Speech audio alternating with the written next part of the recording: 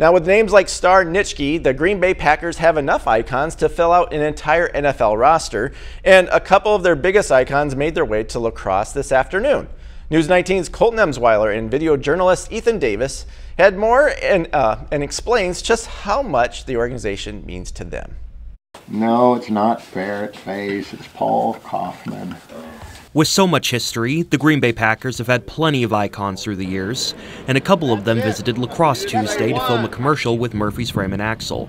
Quarterback Lynn Dickey and tight end Paul Coffman played for the Packers in the 70s and 80s, and the former recognizes he's part of a short list of guys lucky enough to go under center for Green Bay. It is pretty special group that has played, uh, and it seems like from when I played from 76 to 85. A couple years after that, then uh, Don Majkowski played. Brett Favre took over from 92 for the next 40 years. Then he's gone in Aaron, and it's not like some of these teams. In five years, they go through eight, nine quarterbacks. Here, through 30 some years, 40 years, you know, there's like five.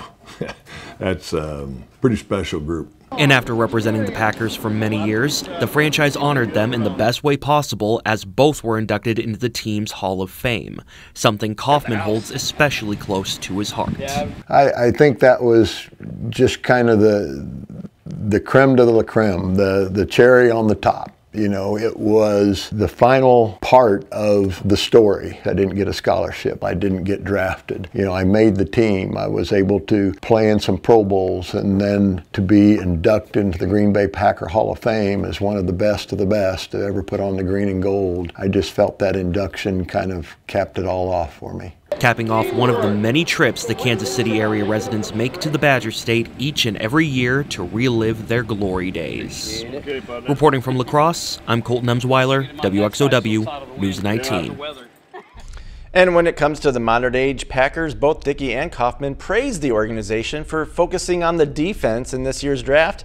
Despite playing on the other side of the ball, they feel the investment will pay off as the Packers look to end a 12 year championship drought.